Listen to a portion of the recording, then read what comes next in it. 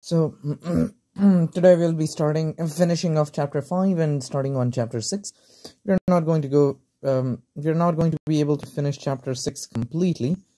So this is going to be more or less partial chapter 6. Um, I will try to find a good stopping point and stop.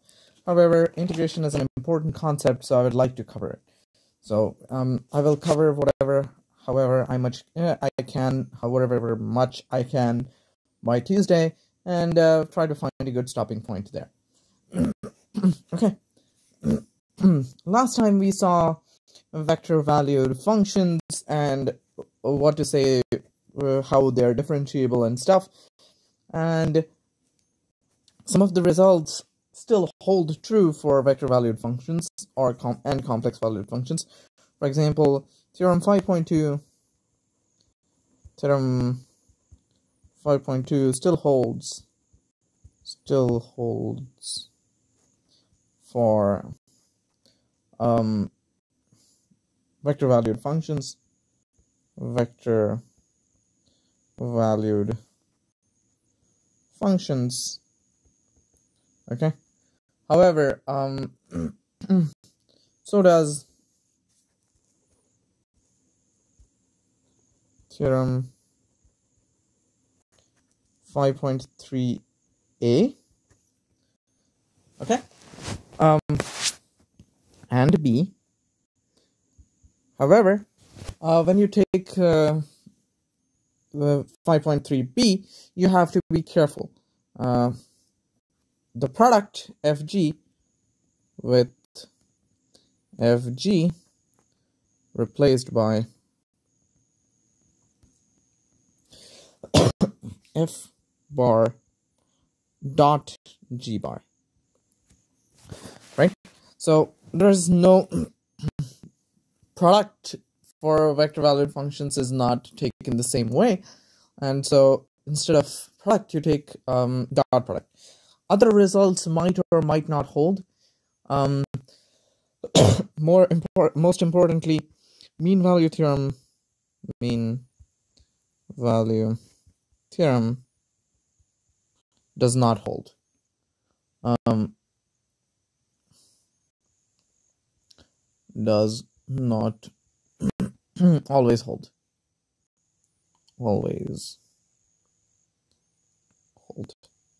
For example, if you look at the complex function f of x, mm, f of x is equal to cosine x plus i times sine x, then uh, this is slightly hard to prove, and we are not going to prove this right now, but this is equal to e to the pi x.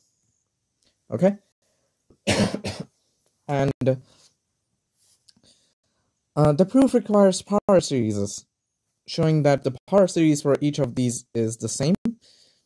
And uh, we have seen a very, very brief glimpse of it previous lecture when we saw that, oh, we can approximate functions by polynomials of the form summation, the nth f, nth derivative of f over n factorial x to the n, right?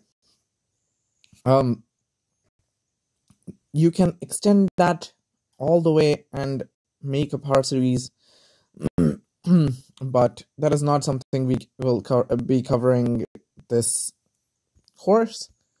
Okay, so for now, you should just believe that this holds true. Okay. I also have not defined e to the ix, I think. I don't remember if I've defined the exponential function. Very probably we have not. Okay. And uh, so the derivative of it might be something that is hard to prove.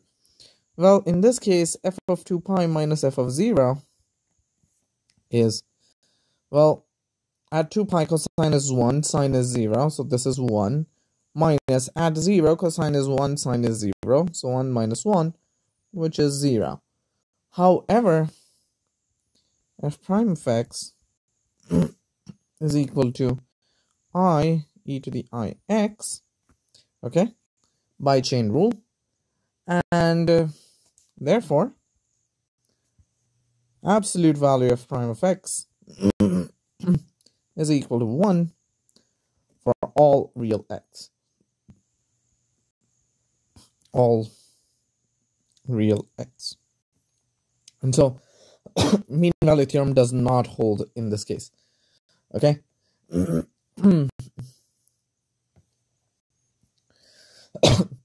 if mean value theorem does not hold, then a major consequence of it, which is the L'Hopital's rule, will also not hold. Okay? And uh, we can show that with the following example. Uh, on the segment 0, comma 1, consider the function define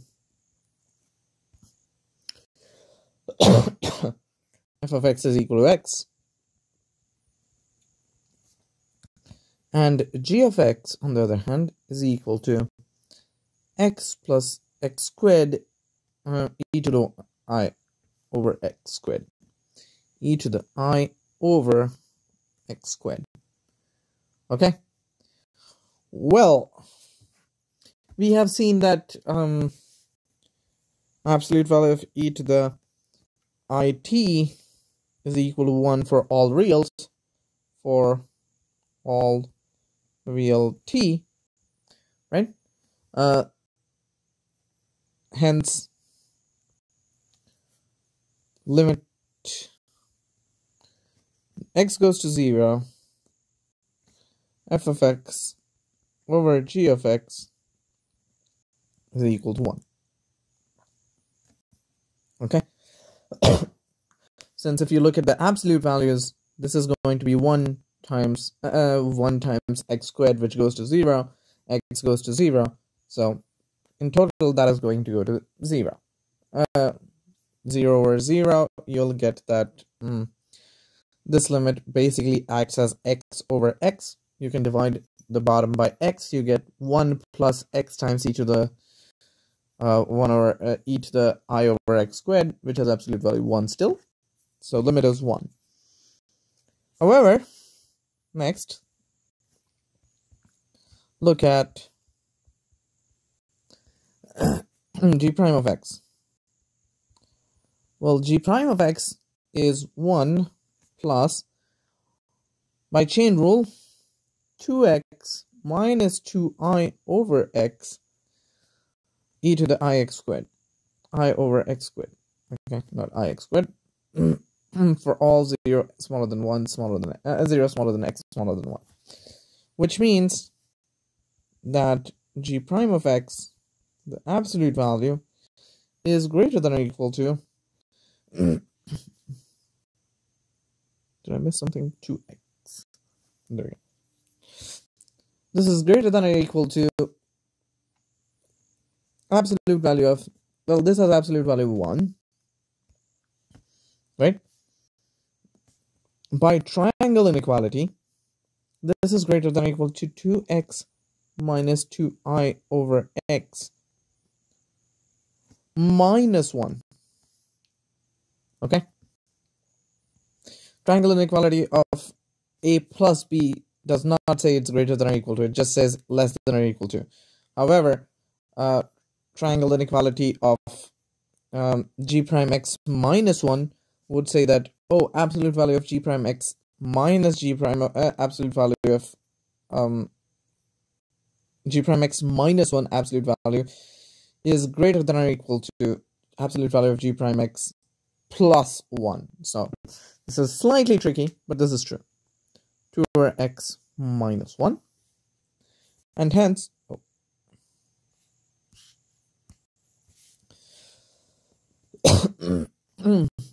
hence absolute value f prime of x over g prime of x is equal to 1 over absolute value of g prime of x is smaller than or equal to rearranging this you get x over 2 minus x.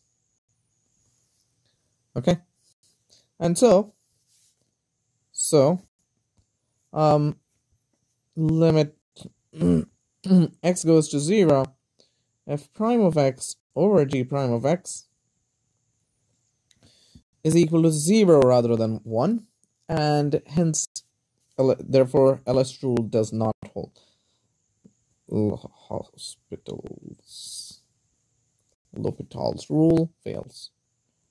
Rule fails. Okay. However, not all hope is lost. Okay.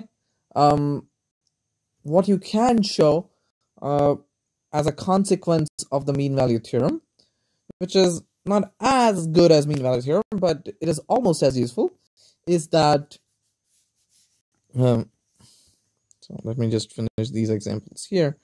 However, however, what can be shown um,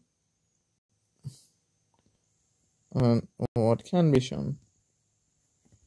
Be shown. Similar to the mean value theorem. Similar to the mean value theorem. Value term is that this holds for complex values as well as vector values for complex as well as vector valued functions as well as vector valued functions is the following. Absolute value of f of b minus f of a is smaller than or equal to uh, b minus a times supremum a smaller than x smaller than b. Oops. Not smaller than equal to smaller than b. Absolute value of f prime of x. Okay, you can't guarantee equality. Um, you can show this exists, and hence you have a theorem. Theorem 5.19. Suppose f bar, which is a vector valued function, um, is a continuous mapping mapping of a comma b into r to the k and f bar is differentiable in AB. Okay, but just to say every single component is differentiable. Then there exists x in AB then there exists exists x in AB such that absolute value of f of b minus f of a is smaller than or equal to b minus a times f prime of x. Okay? This is basically me saying this property, right? Because if I'm looking on a closed interval, the supremum will be reached. So there will be such an f prime. This is the more systematic way of writing it. Let me prove it. Proof. uh.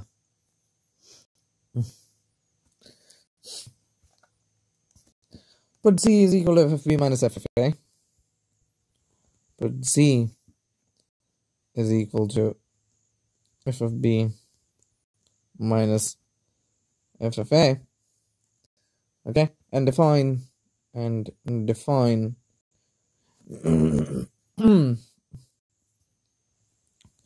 phi of t to be z dot f of t.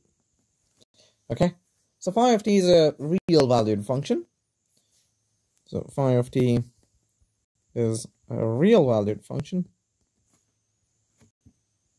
Valued function on AB. which is differentiable differentiable in AB. Okay. Well, if this is a real, uh, sorry, if this is a real valued function, then mean value theorem holds for it. Then mean value theorem implies implies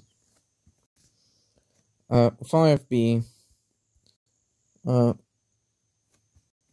implies there exists let me just say that. There exists x in ab such that phi of b minus phi of a is equal to b minus a times phi prime of x, which is equal to b minus a times, well, when you're taking derivatives, um, for complex uh, vector valued, the chain, uh, the product rule still holds, but now you're doing dot product, right? z was a constant function, so its derivative is going to be 0. So I only get z times f bar prime of x. The other term is 0.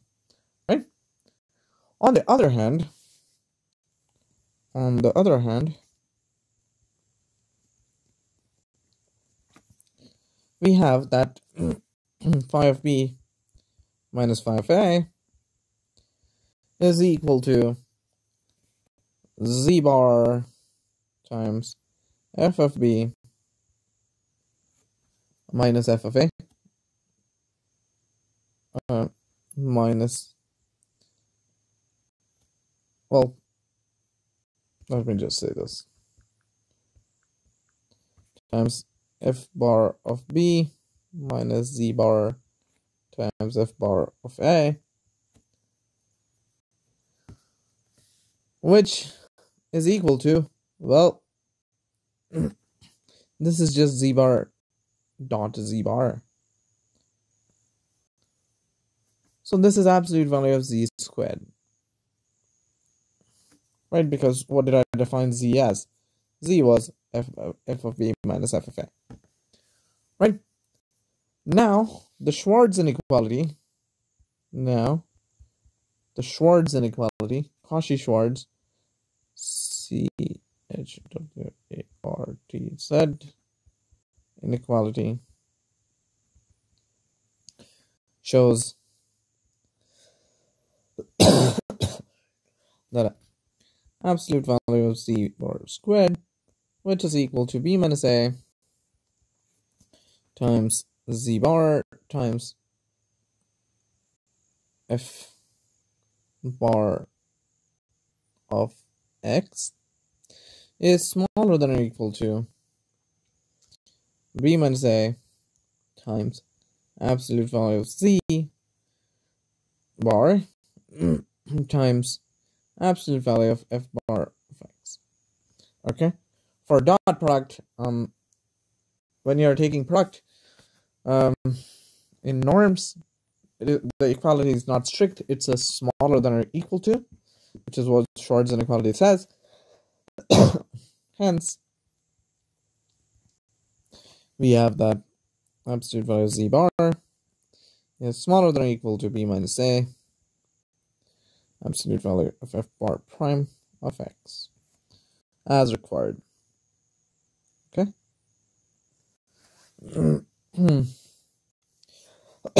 And this finishes my chapter 5. Um, now we move on to chapter 6, which is Riemann st Stigel's integral. I can never pronounce this name correctly. Um. Stale Jess, maybe. Sorry about this one. I will struggle with the name. And, uh, yeah. Chapter 6. The Riemann. Style. Jess. Integral. Okay so what's the idea? Well, I want to eventually somehow find a way of um doing the inverse thing. Like given a derivative, I want to find what is the function whose derivative the given function is. Right? And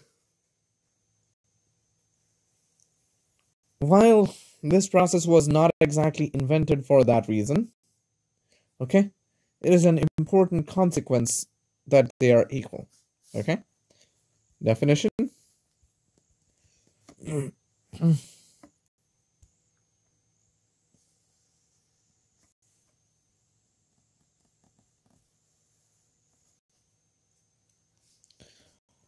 Um, let A be, given, be a given interval.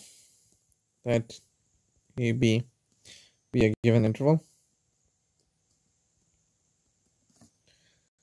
Interval. Okay. By a partition P, by a partition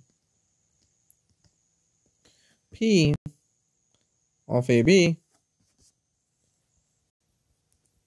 we mean a finite set of points be a finite set of points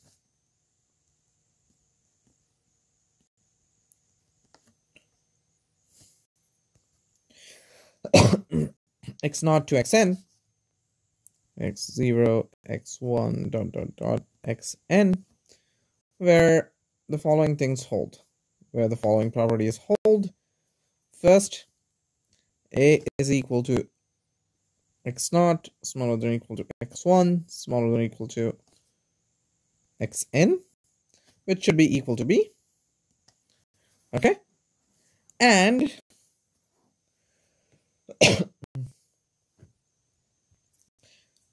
um huh wait okay so the book takes them to be equal smaller than or equal to generally um a partition is strict, but well, whatever. So in that case, it's uh, only this. My bad. So a partition is basically you're dividing the set into n parts, or n yeah n parts. X0 to x1, x1 to x2, x2 through x3. We write.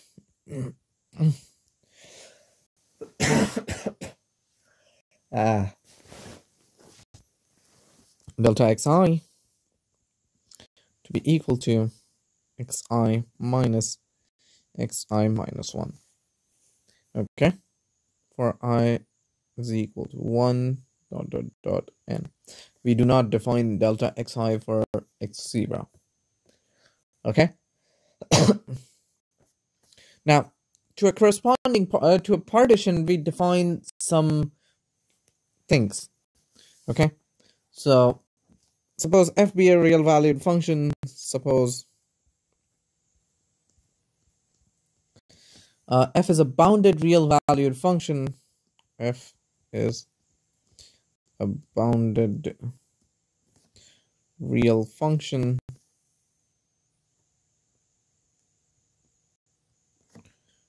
defined on AB. Okay.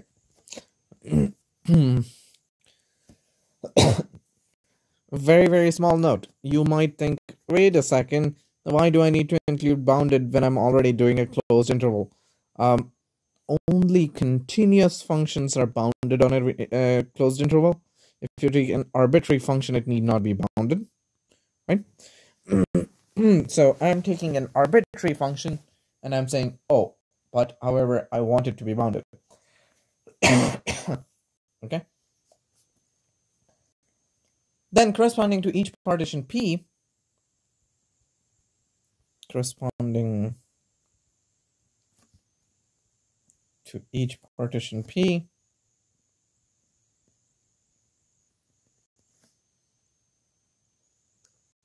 of AB,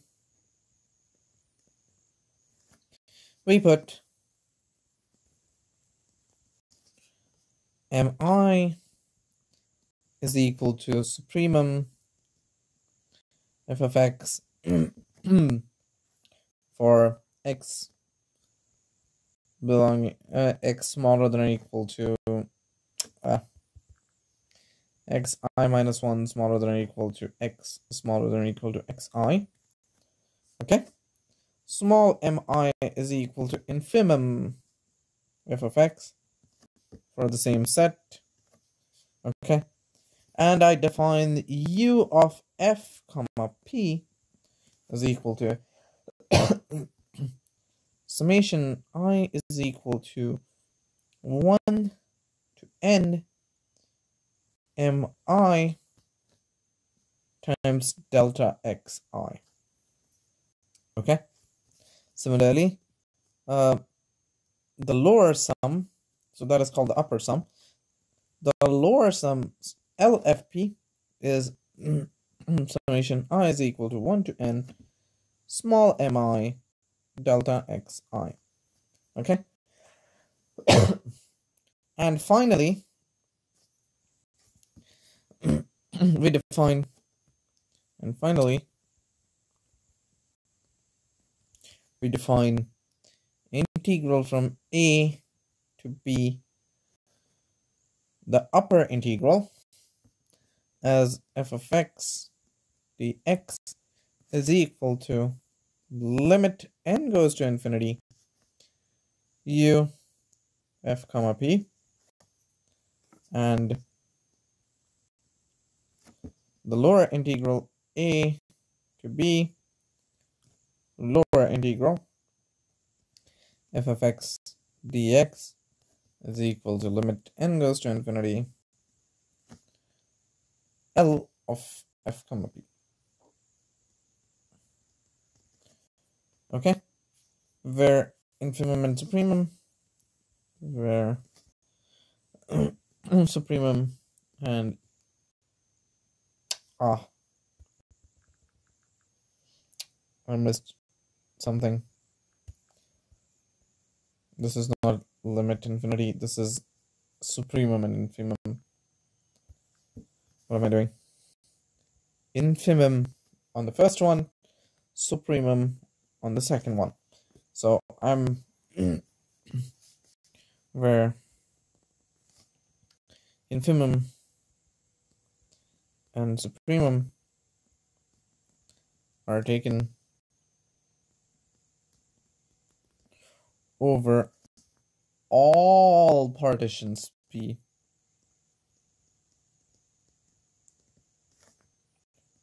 of AB. Okay, so I look at every single partition possible, and um, I look at the infimum of UFP over that, and the supremum of LFP over that. So this is called the upper Riemann integral. upper Riemann integral. This is called the lower Riemann integral. Riemann integral. Though oftentimes with abuse of notation, I am just going to call them the upper and lower integrals. I'm going to skip the name of Riemann, even though he was really good and great and contributed a lot because it's too many words. Okay? If the upper and lower integrals are equal, upper and lower integrals are equal. So if um, the upper and lower integrals are equal, equal, we say that f is Riemann integrable we say f is Riemann integrable. I R I E M A N N. Integrable. On AB. And the book writes it with a very fancy we write f belongings belongs to something I I can't draw that R properly. I am going to try. Okay, that's my uh, best attempt at that R. Okay, where this set is going to denote the set of all Riemann integrable functions. the set of all Riemann integrable functions. So, okay, that's my best attempt. I'm, I'm done. I'm not. Uh, if you don't think that's an R, not my problem. Just treat that as an R. Okay, and we denote the common value, and we denote the common value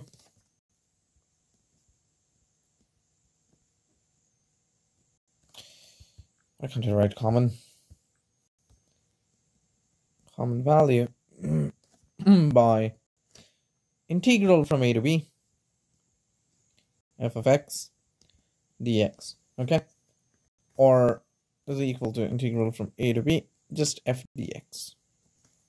Sometimes f of x dx is kept. Okay? This is called the Riemann integral of uh, f from a to b. Okay?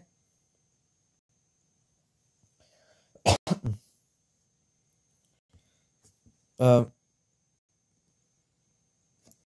now, since f is bounded, since f is bounded, since f is bounded, bounded, there exists m, comma m, such that um, m smaller than or equal to f of x, smaller than or equal to capital M, for every x in AB. Actually, x in AB. Therefore, you can show quite easily m times b minus a is actually smaller than or equal to l f comma p, which is smaller than u f comma p, which is smaller than or equal to m b minus a, m times b minus a, and uh, therefore, the Riemann integral, if it exists, satisfies mb minus a smaller than or equal to integral a to b f of x dx smaller than or equal to capital M times b minus a. If it exists, okay? Um, need not always be equal, but this property is always satisfied. Um, this one 1 as well as 2. Okay, both of them are always satisfied. The second under the condition that it exists, but the first one is always satisfied for every partition P. Okay, another definition.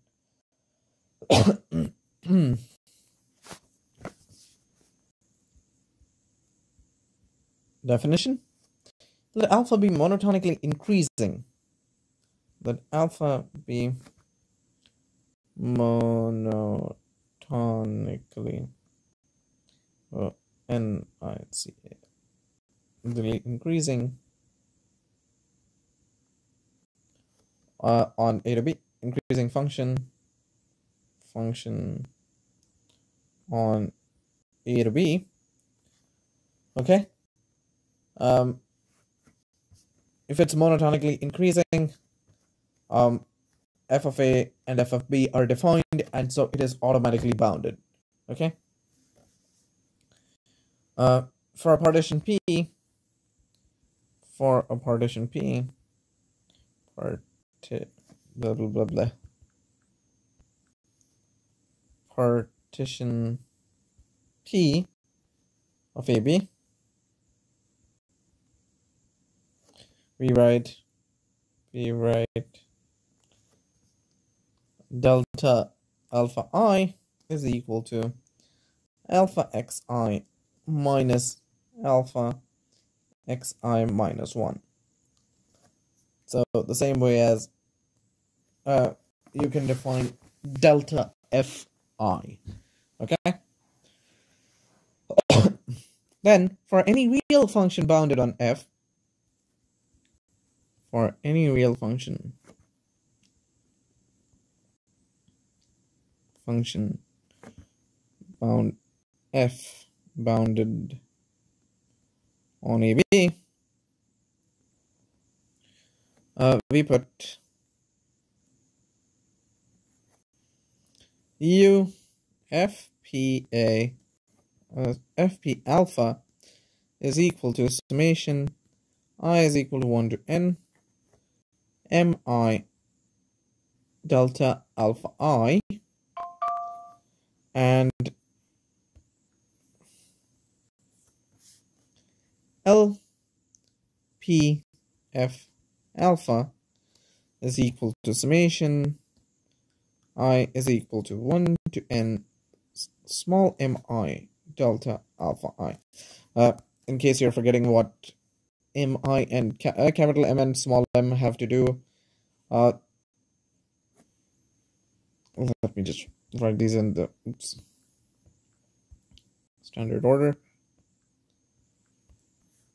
PFA. Um, capital MI is again on the interval delta I, uh, delta xi. It is the maximum. Okay, so that is the role that F is playing, even though it doesn't show up here. Okay. Um, then define define integral a to b upper integral f d alpha as infimum of u f p alpha. And the lower integral a to b f d alpha as supremum L P F alpha. Where this again the infimum and supremum is taken over all partition. Where infimum and supremum is taken over all partition. Is taken over all partitions okay. Once again if they're equal if the lower and upper integral are equal, integrals are equal,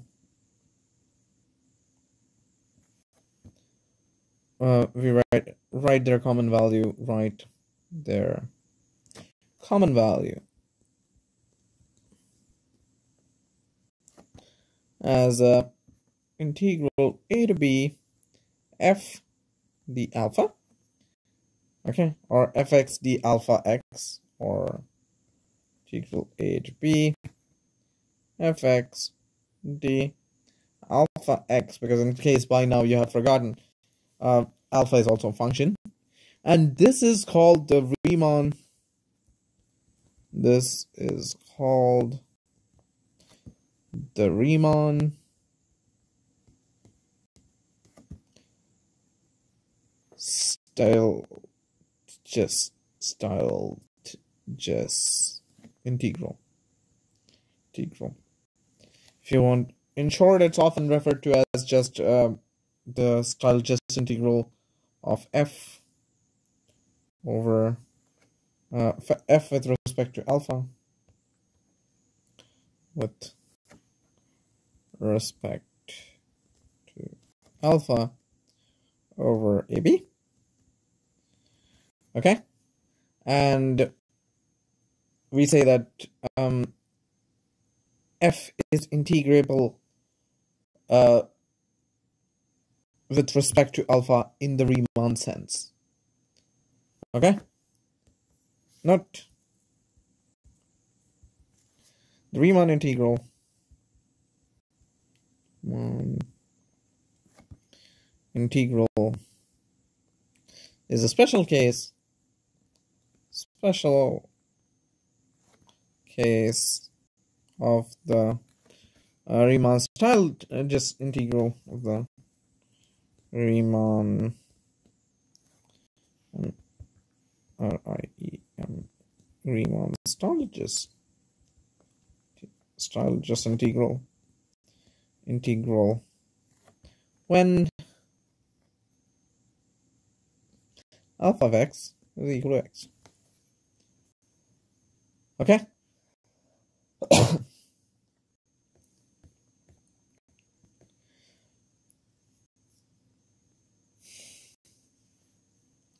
uh, you can also change the notation, okay? So integral a to b of f of y d alpha y is same as integral a to b of f of x d alpha x as long as um, you have the same bounds. From a to b, it does not matter what letter I use to denote the variable, it's always going to be the same. It's the same as when you're using um, c equals integral a to b f of x d alpha x. Okay, this a and this b actually define what you're doing it. So even if you just drop the x, it does not matter, right? Which is why the previous notation has no x. Like this notation has no x. It doesn't matter what variable I'm using. Okay. If uh, the bounds are assumed, if the bounds are um, clear, if the bounds a comma b are clear, are clear, uh, we may drop, uh, we may write, write integral instead, instead of integral a to b. So for now, we are not doing indefinite integrals. All of these are definite integrals.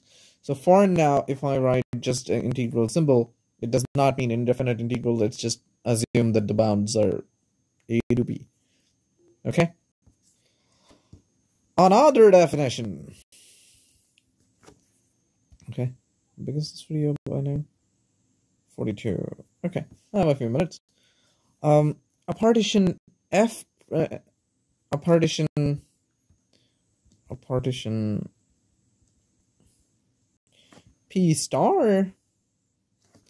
Is a refinement refinement of p if p star contains p as sets? Okay. That is to say every element of p is an element of P star. Given two partitions, partitions P1 comma P2, uh, we say, we say P star is there common refinement? Is there common refinement?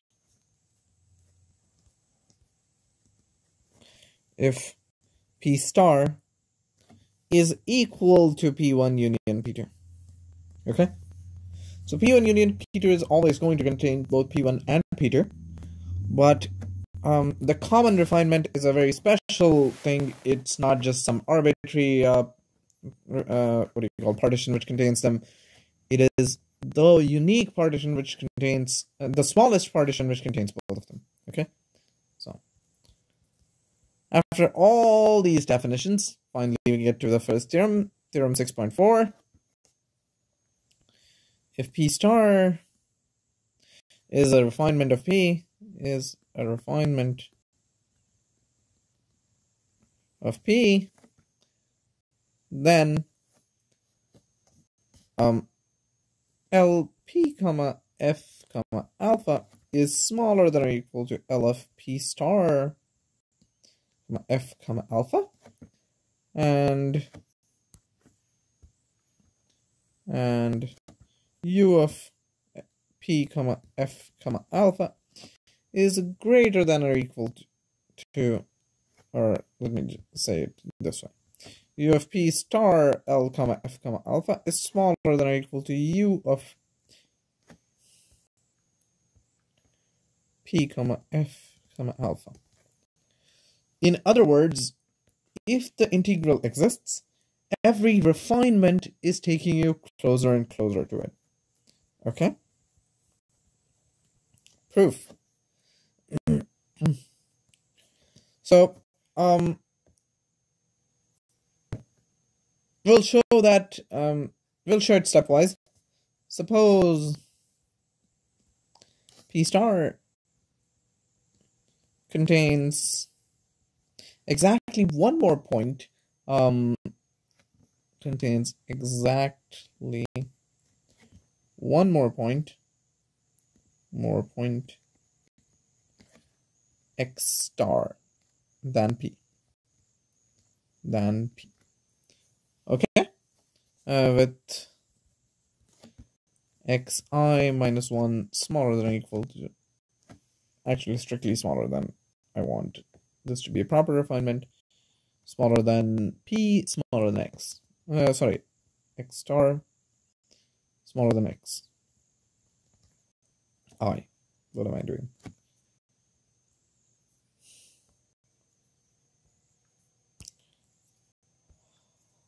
Stop moving okay? Uh then these two are consecutive points right? But W1 is equal to infimum f of x for um, xi smaller than xi minus 1 smaller than equal to x smaller than equal to x star and w2 is equal to infimum f of x when x is smaller than or equal to x star is smaller than or equal to x x star is smaller than or equal to x smaller than xi. Okay, so I have split the interval into two parts. Clearly, clearly, because I am taking the infimum on the two, uh, two intervals, like the infimum of xi minus 1 to xi, which was mi, it might be in the first half or in the second half. If it's in the first half and not in the second half, then infimum of the second half is going to be more. If it's in the second half, not in the first half, then the infimum of the first half is going to be more. So W1 is greater than or equal to MI. W2 is greater than or equal to MI. Okay? Um, where MI is equal to infimum of, well, I'm not going to define it. You should know what MI is. It's the same one every time. Okay? Therefore, um, L, F, no, P star, comma, F, comma, P, alpha,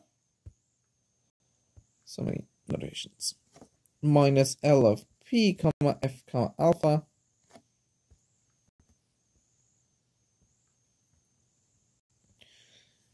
is equal to, well, everything else is going to cancel, right? You're going to left with W1 times alpha of x star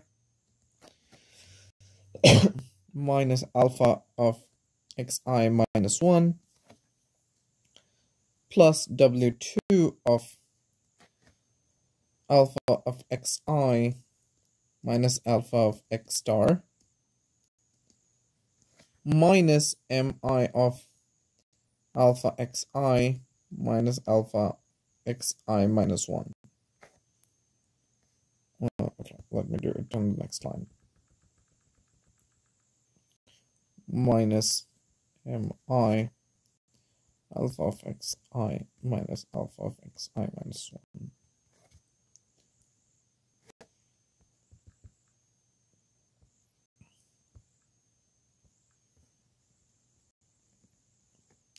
Okay. Um, let me just say this. If this did not have the extra uh, computation of alpha, uh, the result follows extremely similarly. It's much easier. The complication is because of the extra alpha. Okay, so complication. Did I say complication? I don't remember what I said.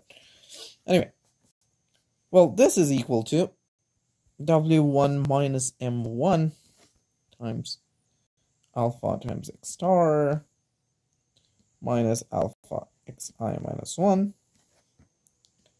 plus w2 minus m1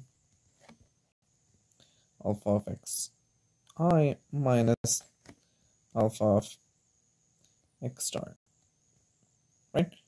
And this is greater than or equal to 0 as uh, both of these are greater and alpha is an increasing function as alpha is an increasing function this result would not be true if alpha was not an increasing function. Okay? Now, uh, if if p star has k more points than p, more points than p, do it stepwise. Do it stepwise k times. Okay? And hence the result is true. And we have our theorem. Okay? What is the important um, application of this? What is the important consequence? Theorem 6.5 it says integral um, a to b, the lower st Stieltjes integral of f d alpha is smaller than or equal to the upper Stieltjes integral of f d alpha. This was not obvious if alpha uh, if alpha is not equal to x, right? Uh, you no longer have that oh the lord um the you there is no obvious way of saying that oh um what do you call um the infimum is uh, greater sorry the upper sum is greater than the lower sum and among other things Technically, it should be easy to say, but um, that still holds. Actually, that should still hold.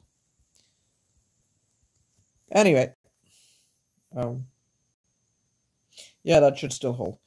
So, let P star be the common refinement of two partitions, be the common refinement refinement. To partitions. P1 and P2 P1 and P2 then by 6.4 by theorem 6.4 um LP1F alpha is smaller than or equal to LP star F alpha. And this is smaller than or equal to UP star F alpha, which is smaller than or equal to UP2 F alpha. Okay?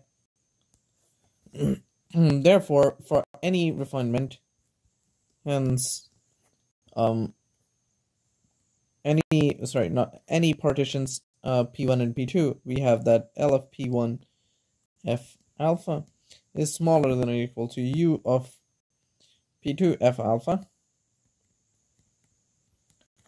right if you fix uh and you take the supremum over 1 and the infimum over 1, um, you get fix P2.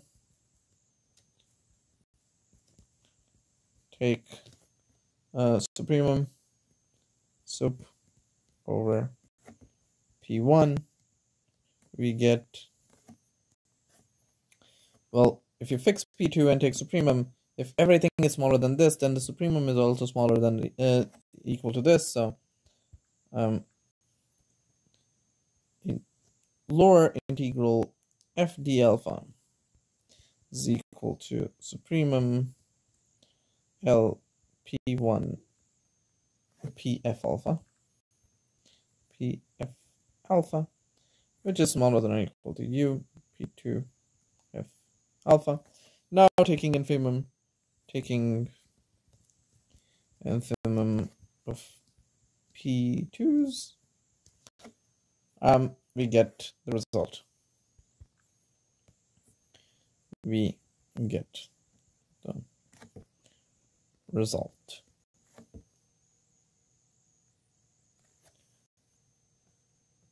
Okay.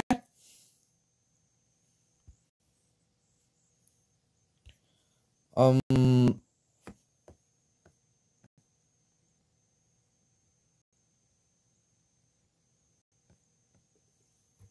should I do one last theorem?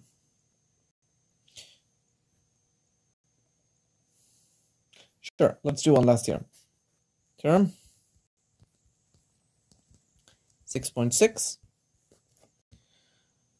F is in fancy R.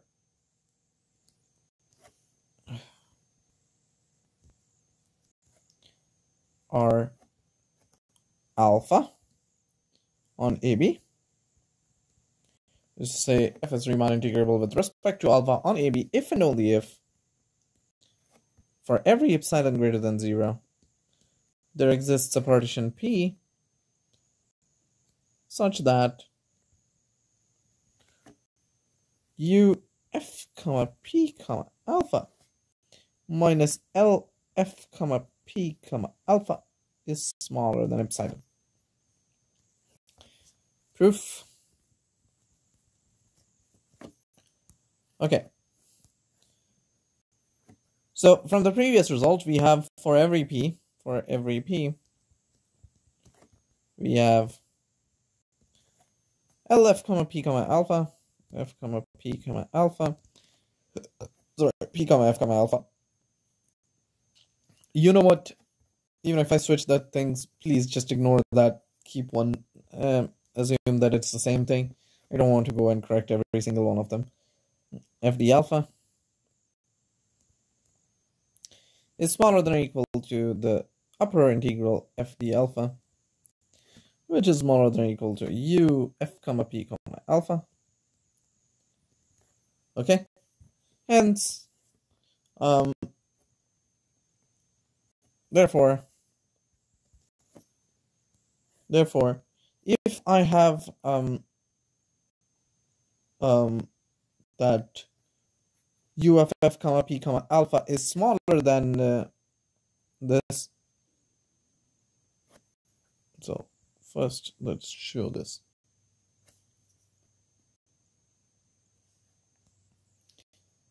Okay, uh, showing this way first. I have this, therefore, 0 smaller than or equal to integral the alpha minus f the alpha lower integral is smaller than epsilon. Since this is true for every epsilon, since this is true for every epsilon, every epsilon greater than zero, uh, we must have, we have